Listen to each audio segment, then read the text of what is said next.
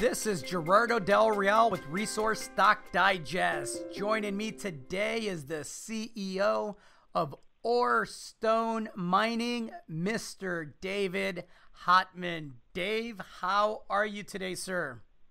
Uh, very good, very good. Uh, healthy and happy in these difficult times. And uh, how are you doing, Gerardo? As well, as well. Healthy and happy in these very, very interesting times. Um, just all the way around, right? Thank you for asking. Um, another thing that's healthy, I have to say, the Orestone share price, right? You have one of the prettier looking charts out there. Um, you recently hit 52 week highs, and it's not a coincidence um, that you're going to be drilling what is a very large, potentially company making target. Um, the Resguardo Copper Gold Porphyry Manto project, which of course is located in northern Chile. Can you can you give us a brief update on that, Dave? How how are things coming along in preparation for the drill program? Uh, well, we've uh, we announced today uh, uh that we have uh, completed most of the uh, drill pads road con, road rehabilitation and preparation of the, the campsite for the drillers. And uh, we should be uh, uh, drilling here in the next week, um, uh, which, as you mentioned, very exciting times. It's, uh, it, it's, it's a long road to get here. Let's talk about the target. I don't often say that the target could be a company maker, but this has that potential. Of course, we know exploration, um, we we know the risk associated, but the bottom line is, you and your team have done this before. Um, tell me a bit about the target and why the market and yourself, of course, um, is so excited about it. Um, well, I think what's exciting us as well as uh, uh, astute watchers of the market is that uh, we have a, um, uh, a, scenario where there's previous mining on surface and in, in uh, shallow adits. Uh, they are directly offset uh, uh, by a large geophysical anomaly, which is an IP anomaly.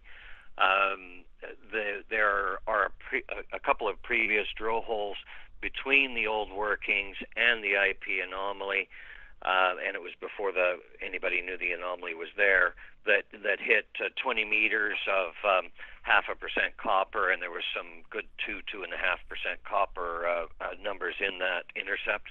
Um, the um, over the top or on the surface above the IP anomaly, we've got some big structural faults going through, and on the surface, you've got lots of alteration, oxide copper mineralization, and so it's kind of like connecting the dots.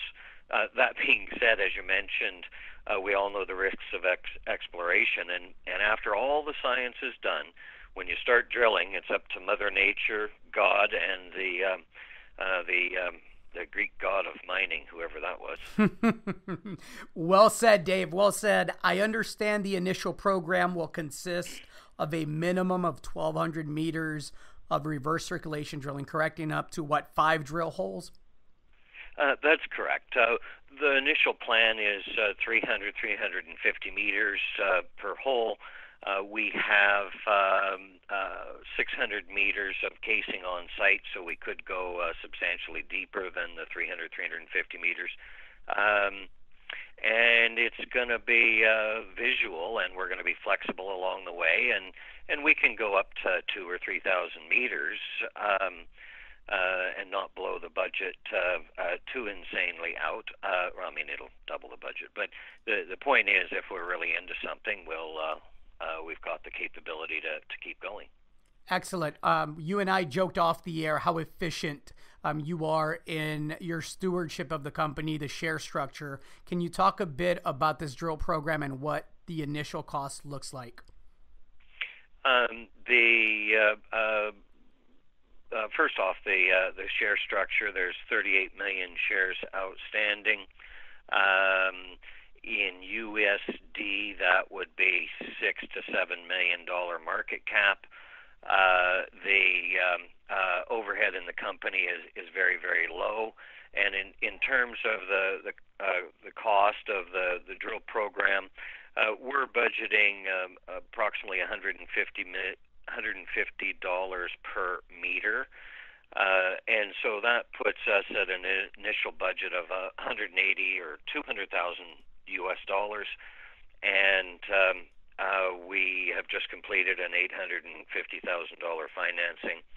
Uh, so we've got plenty of money in the bank to uh, uh, do the prescribed program as well as to double it if if we needed to, and uh, it's a big target flexibility in the in these markets is is is is a good thing, right? I want to thank you for taking the time and obviously invite you to come back once drilling commences.